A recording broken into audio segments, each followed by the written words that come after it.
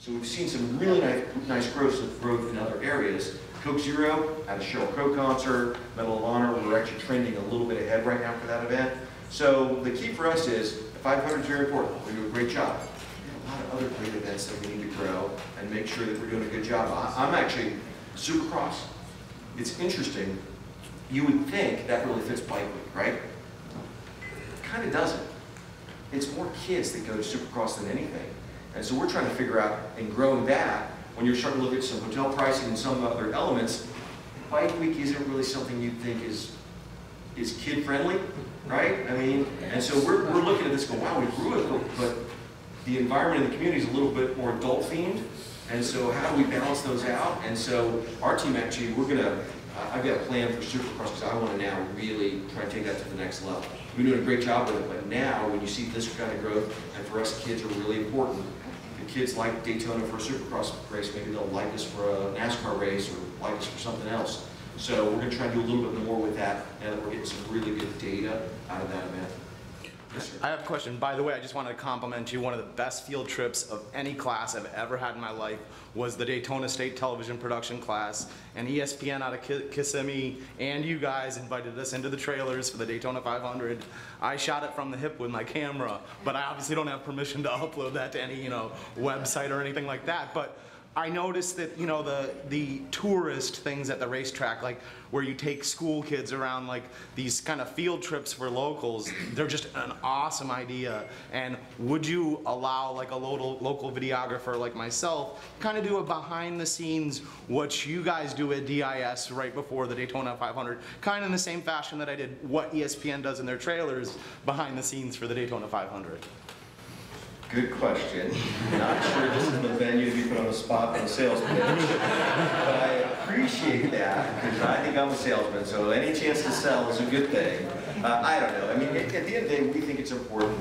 Our staff, you know, we're challenged. I think we're all challenged, right? We have to do more with less, right? And so we operate our venue 250 days a year. And yes, we all know about the big events, Rolex, Supercross, 500, 400 but we're running testing out there.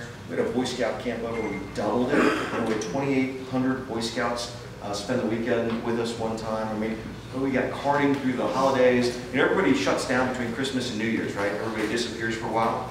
And we've got hundreds and hundreds of go-karters with their families who come down from the Northeast and Midwest.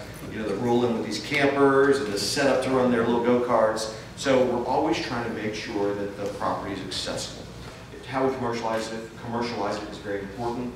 Uh, we continue to do a great job with our tours. You know, we offer a 30-minute and a 90-minute tour and uh, continue to provide a, a really great experience. To get people in places they're not allowed to go during the events. And so when you're in the driver meeting room or you're up in the tower, wow, this, so this is what it is. Uh, I don't know if any of you have been on, has anyone been on a tour lately on our property? Yes, I have. We actually show you the video that they show the drivers before the race. So we sit you in the driver meeting room and say, okay, here are your instructions. You're going to go race in the Daytona 500 in the next hour. Here are the rules. I want you to play that video so that you understand this is what the drivers see. And so it's kind of cool to give them that experience of you weren't maybe you weren't here in February and you didn't get in this room, but right now you're seeing exactly what the drivers saw before they went out and had the race.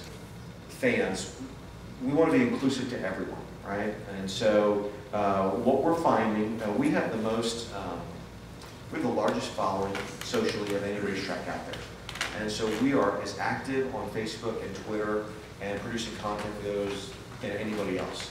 And we think that we think that's paying off because that's really the young demo that you need. If you can get the young demo interested in your sport, you hope that they're going to turn into a fan for the rest of you know their lifetime. That's our hope. Um, it's a bit of a concern. Well, advertising in general is a concern you know, in terms of are you really getting uh, the appropriate return on your investment? You know, whether you're spending money in, in Tampa, Jacksonville, locally, Atlanta, Charlotte. But what we like about the social aspect, it's one-to-one. You can now communicate to your fan one-to-one for the first time. And we think it's going well. That's where we're focused. We're spending a lot of time in that area. Um, I think it's going to pay off. Uh, we're going to have some great content coming with the construction project to attract people and, show them how special it is. So that's kind of the focus for us, and, and proud that we're we've got like over 700,000 likes on Facebook, and I forget what the Twitter following is, but it's pretty strong. I did a, a Twitter uh, Q and A on the day after our announcement. And uh, the only thing about, uh, you know, there, there is no etiquette anymore when it comes to social space, right? You know, people, I don't know whether it's just the anonymity of it at all. So anytime we can add events like that, we do it. I mean, look, I, this, this property needs to get used. That's the deal. Now, there's, there's a couple things that we won't do. They're a little bit too far. But, but that was a nice event, and, and it's a lot of stuff that people don't realize that we do. Uh, Thank you so much. I appreciate the time this morning.